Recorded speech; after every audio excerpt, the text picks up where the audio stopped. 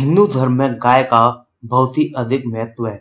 आमतौर पर गाय को माता कहा जाता है और ज़्यादातर जगहों पर गाय की पूजा भी की जाती है। धार्मिक मान्यताओं के अनुसार गाय ही एक ऐसा पशु है जिसमें तैतीस करोड़ देवी देवताओं का वास होता है। गाय को रोटी खिलाने का या उसकी सेवा करने का अर्थ यह होता है कि आप तैतीस करोड़ देवी देवताओं की सेवा कर रहे हैं।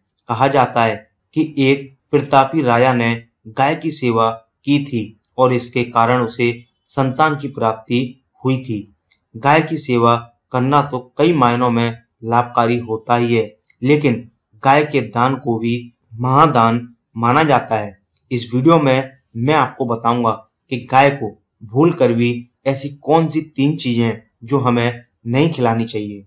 आगे बढ़ने से पहले दोस्तों, अगर आपने अभी तक हमारे चैनल को सब्सक्राइब नहीं किया है तो उसे अभी सब्सक्राइब कर लें। अगर आप हमारे चैनल के माध्यम से हर रोज कुछ नई जानकारियाँ जानना चाहते हैं तो चैनल को आज ही सब्सक्राइब करें, साथ ही बेल आइकन को भी ज़रूर दबाएँ, जिससे कि नई नई जानकारियाँ नई नई वीडियो आप तक पहुँचती रहे।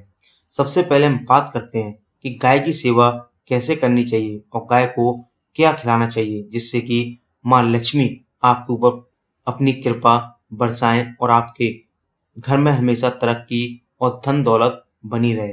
दोस्तों, जो लोग गाय को नियमित रूप से रोटी खिलाते हैं या गाय की सेवा करते हैं, उनकी कई पीढ़ियों पर इसका सकारात्मक प्रभाव पड़ता है और पीढ़ी दर पीढ़ी लोग उन्नति और खूब तरक्की करते हैं। अगर आप गाय को रोटी खिलाते हैं तो आपके घर के बच्चे या आपकी आने वाली पीढ़ियों को संसार के सभी सुख प्राप्त होते हैं। और उन्हें सभी तरह के लाभ एवं पुण्य प्राप्ति होती है।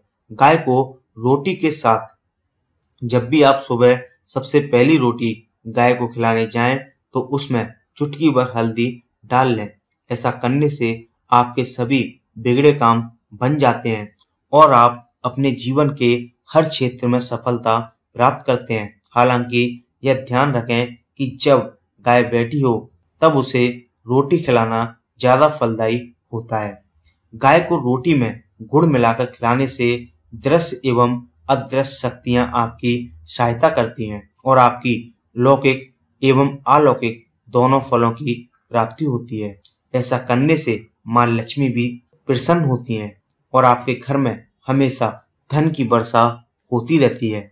दोस्तों, मंगलवार के दिन किसी अनजान रास्ते में गाय को रोटी खिलाने से आपके घर में सुख समृद्धि आती है।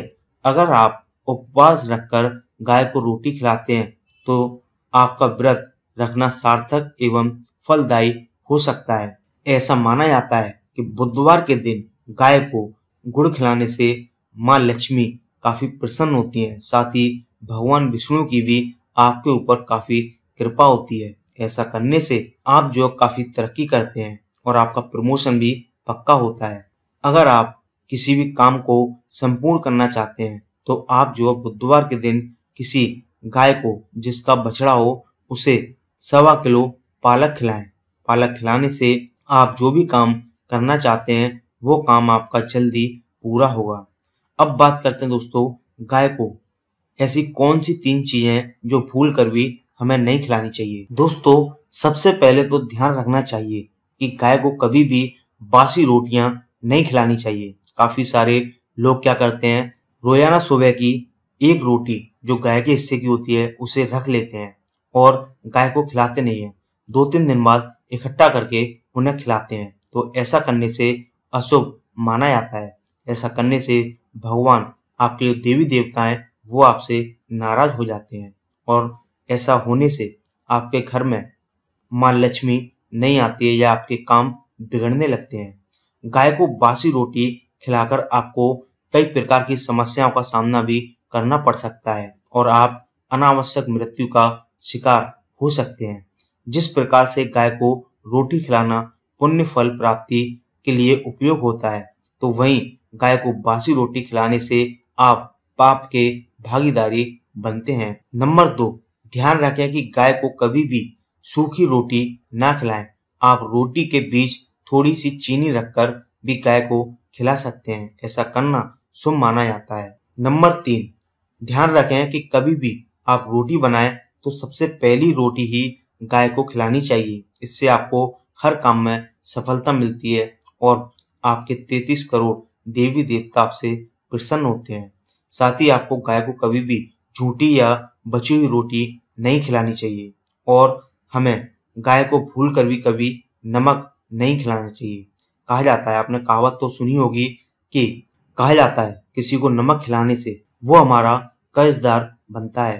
तो भूल कर भी गाय को नमक इसलिए नहीं खिलाना चाहिए क्योंकि गाय को माता लक्ष्मी का रूप माना जाता है।